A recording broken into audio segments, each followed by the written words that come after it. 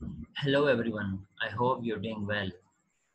Yesterday and the day before yesterday, uh, we were discussing syntactic structures, and in the yesterday's lecture, we discussed sentence as a projection, and we discussed these things generally. Let me give you an overview of the lectures here. Actually, we discussed these very things in the previous lectures. That is, uh, uh, sentence as projection. Then we discuss the complementizer position of whether, what, or other WH words. and then we also discuss exocentric categories and endocentric categories. And then we discuss inflection or I and FL or I for short. Then we discuss auxiliary nodes and we compared the, these nodes in English, uh, Hindi, Farsi, uh, French, and uh, with English language, and how uh, how the verbs in in Urdu differ from the verbs in English. Then how do verbs inflect in inflect for for genders in in Urdu, and how uh, the verbs remains the same for for verbs. Sorry for nouns or pronouns in English. Then we also discussed uh, tense and agreement, uh, then we said that uh, all the classes are uh, plus minus tense and plus, uh, uh, plus minus agreement because um, infinitival, infinitival marker do not adopt or follow this tense and agreement. then we gave this general statement in the end of the lecture. Whereas today, we will extend this lecture further and we will almost uh, complete this lecture in uh, complete this topic in today's lecture. Here is today's uh, start of the lecture. So if we assume that inflection is the head of sentence or s then s will be a projection of inflection phrase or ip so here the writer says that if we assume if let's suppose that inflection is the head of sentence right? We also used i or in i and fl in short for inflection. So if inflection is the head of sentence like uh, uh, head of sentence like in in in noun phrase you see that noun is the head of phrase and in verb phrase you see that verb is the head of phrase. And whereas here we are assuming that if inflection is the head of sentence then what will happen? Then S will be a projection of inflection phrase or IP. So obviously, as we see that uh, in the verb phrase, we uh, verb is a projection of uh, you know that uh, uh, of verb phrase. Similarly, here, so if the if inflection is the head of S, then S will automatically become the projection of inflection phrase or you can say IP. Now using our previous schema of using specifier, we can rewrite S as, so of course we will apply the specifier thing here as well. For example, we apply this in the verb phrase in, uh, in, in the previous lecture, we also applied this on noun phrase as well. So, so if we apply this same schema here as well, so what will happen? I double bar will be equal to specifier and I bar. This is the same schema or this is the same formula which we also applied in the previous lecture on verb phrases and noun phrases as well. So what is uh, I bar here or I or, or you can say that uh, inflection phrase here, it would be equal to inflection and verb phrase. So and let us part a, send, parse a sentence of the uh, S so it will be sentence would be like this NP plus VP under this schema. Under this, according to this formula, or according to this schema, where the inflection is the head of S and S is the projection of inflection. So we have this uh, this type of study of S. Uh, that that is S will uh, that NP plus VP will be the projection of S, right? Or we can say that NP plus VP will fall under S let us parse a sentence here. Let us study a sentence according to this formula or according to this schema. I will write, uh, sorry, I will drive the car. So let us apply this formula here. Here I double bar, and this is the same thing we also applied on the verb phrase and noun phrases. Please, uh, please see the previous lectures as well. So I double bar here will be will have two nodes. That is, first one is noun phrase NP, and the other one is I bar. You can assume that where is specifier. So we do not always mention specifier in in the form of words. Sometimes we have specifier. Uh, we always have specifier, but they sometimes we leave their spaces empty in the sentences, right? We do not always fill the position of specifier in the sentences. So here we did not fill the position of specifier. So here I double bar will have two structures or you can say that we will uh, apply this uh, I bar, uh, I double bar formula according to this one that is S it would be equal to will have this projection that it will be equal to noun phrase plus verb phrase. So here I double bar is uh, have two nodes that is NP plus VP, but we will write it like write VP like this. Uh, that is I bar because VP and I etc. These things come come under I bar. Here we have the formula. So we divided I double bar into two nodes. That is NP plus uh, you can say I bar. Then under the uh, under NP node we have I, this I, whereas under this I bar, we have I first that is inflection, inflection, and under inflection we have will, and then uh, we also have VP, that's a verb phrase, or we also we can also say that uh, V bar because V bar is uh, also known as VP. And under V bar we have V that is drive and also NP that is the car, and we can further divide this NP. Um, we can further uh, have two branches under this NP that is the da for determiner and uh, car for noun. Now let us go back to complementizers. As we can see, the complementizers that and if go with finite clauses. So these complementizers that and if, uh, if go with finite clauses and for goes with infinitival ones.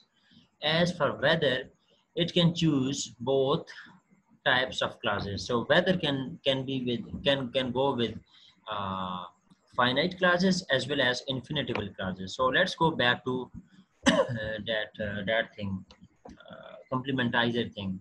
Let's see what what was complementizer, which we checked in the previous lecture. We discussed in the previous lectures as well. So here we discussed the complementizer complementizer position is uh, normally before S, right? Before sentence. Our complementizer position are clearly obvious in sentences beginning with WH words. So here we had the complementizer position in the sentences, whether, what, when, etc. So these were the complementizer position we normally have. We put them before sen uh, sentences. So here we also uh, do a diagram Uh, of the complementizer and complementizer position and normally we use S bar and under the S bar we had complementizer words and then we had the whole sentence. Because we put complementizer words WH words before S before sentence. So let's go back to our today's topic.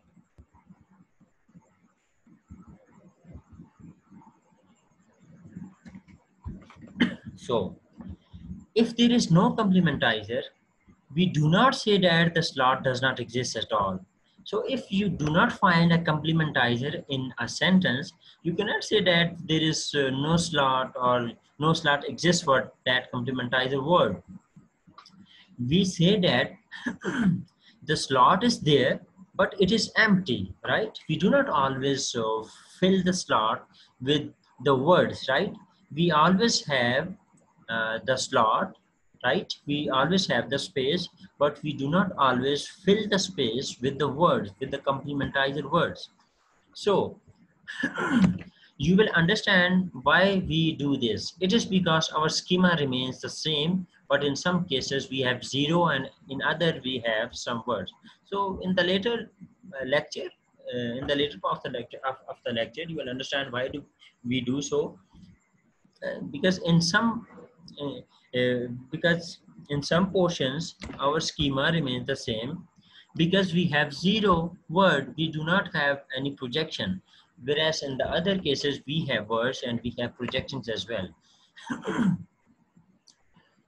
Complementizer phrases or CP may be seen to have complementizers as in the other schemes. So complementizers are headed with complementizer phrases. Here is the diagram of the thing we discuss here, complementizer phrases. As we said that complementizer phrases, complementizer words are so it's we we do the same diagram here that complementizer phrases are C bar is heading complementizers here and then we have ip or inflection phrases because we at the at the start of the today's lecture we assume that ip or inflection phrases or inflections are the uh, are heading the are heading a sentence. Then the whole sentence will be a projection of ip so here first of all we said that because uh, complementizer words come before s before sentence so here we kept it before ip or inflection phrases are you can say that overall we kept it the complementizer words or complementizer phrases before the sentence. Then the complementizer uh, the, then the c bar uh, then from the c bar we have one node that is ip and then from ip we uh, have extracted three nodes uh, two further nodes here that is first one is NP, that is noun phrase, and for noun phrase we have I, and for I bar, uh, we have first of all inflection, that is uh, will is for inflection, and then we have VP, that is verb phrase, run in the garden is verb phrase, and we can further divide the verb phrase in into prepositional phrase and noun phrases. In this case, the CP is empty because in this sentence look at this sentence. I will run in the garden right? Here we do not have any cp or complementizer phrase or even a complementizer word or a wh word. But we can we do not say that the slot does not exist at all. Slot does exist right? Here is the slot but it is empty. But we can fill it in with whether. Whether we can use whether here right? If we use whether so it so the complementizer position will be filled.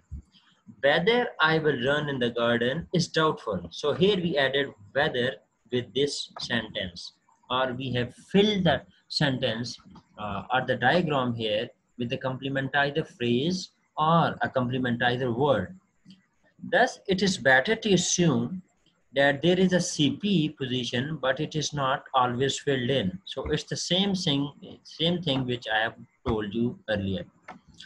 Of course, in the light of our previous schema, there will be a specifier too. And the schemas which we discussed in the previous lecture. So uh, in the light of that schema, right, we, we, we have, we also have specifier in, in the sentence as well. So the structure, how, so what would be the structure? What would be the new structure, right? Uh, because we I have already told you that there are there is always a slot for CP, there is always a slot for specifier too, but we do not always fill that slot or fill those slots with the words. But uh, we, we and we do not when we do not fill those slots, we we we call those slots as empty. so here we uh, from complement complementizer phrases or CP we have two nodes. First one is specifier and the other node is of C bar. And from among C bar, we have further two nodes. First is complementizer, then we have uh, inflection phrase. This is the overall schema. And on the basis of this schema, uh, you can say that this is a kind of final schema for a sentence structure, right? Uh, and we started this schema with the with, with, phrases noun phrases verb phrases etc then we uh, then we also discuss specifier. Then we discuss uh, this ip inflection phrases. Then we discuss cp so after discussing all these things now we have this final schema. Cp cp has specifier and c bar. Then c bar has c and ip as well so let us discuss this uh, schema with the help of some examples here. So in this uh, example, if we change the example like this, if we change it into the question form, will I run in the garden? If we write a sentence like this, so what will happen? Will move to the specifier position, right? Here, here, will moves here at this place, will occupy this space, then we have the next sentence, right? Because we uh, normally have complementizer and uh, at the start, right? Uh, or you can say that before S. So, or even specifier before S. So here what will happen, will will occupy occupy the space of specifier. In such a case, whether will not be this node. We cannot have will whether because if we move will at the start, then we cannot add whether because will whether I run in the garden is is an odd syntax. So we, we cannot have uh, two words for this node. We can uh, we can have one word this for this specifier. This is so. Uh, how can we write this one? We can write this example in this way. When will I run in the garden? We cannot mm-hmm. write write in this way. Will whether I run in or we cannot write whether will I run in the garden. Rather, we will write in this way. When will I run in the garden? So how, how can we draw a diagram for this one? The tree of this is as follows. So this is the tree of the previous sentence. So at the start, we had, uh, we have C double bar and from C double bar, we have two nodes. First one is our specifier because specifier comes at the start of the sentence or before sentence. So, and the second one is of C bar, right? Complementizer phrase, you can say. And from among C bar, we, we are applying this formula here, right? I have already told you that we will apply this final formula. We are applying this formula on this example. so here we have C bar and from C bar we have, first of all, we have um, complementizer position because complementizer position comes before S, right? Before sentence. I have already told you uh, in the previous lecture and in today's lecture as well. And even before this complementizer position, we have specifier because specifier is a word which specifies something, right? Which tells us uh, a specific about specific thing about the sentence. Because in this sentence, will I uh, will I run in the garden? In this sentence, we are specifying when will I run in the garden, right? We are specifying something. So this specifier comes at the start uh, because this the position for this specifier is, is is at the very start so when is occupying this specifier position then from c bar we have first of all we have c because c position comes before s our sentence so will comes at c position or will occupy the position of c then we have ip that is inflection phrase and from ip we can have uh, further we can have two nodes first is np we are applying the previous formulas which we have already discussed, right? So under the NP, you have only one uh, noun that is I. So again, we have from IP, we have another node that is I bar or I bar. Uh, and if we see the formula of I bar, we, we have I and VP under I bar. So I, that is inflection. We do not have any word for I here. So we wrote empty, right? So this slot is not filled with any word. When will I run in the garden? Because we do not have any word here. So that's why we wrote empty. And under VP, we of course have run in the garden. That is verb phrase. So the auxiliary moves from one head to another. This is called head to head movement. So what happens here? The auxiliary moves here from, from here. Because in the previous sentence, we have different position for auxiliary. I will, from, from I will position, it, it becomes will I. So we, we call this position or this movement as this is called head to head movement. We will not, however, go into the details of the movement here.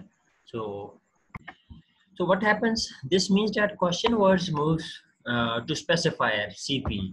So this is the question word. It, it, it moves to the specifier position or you can say complementizer.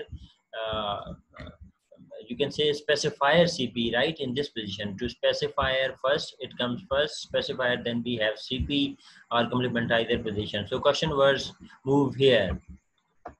And in the main clause question, they precede Whereas in the main class question, they precede the inverted auxiliary. So uh, they also precede the inverted auxiliary here.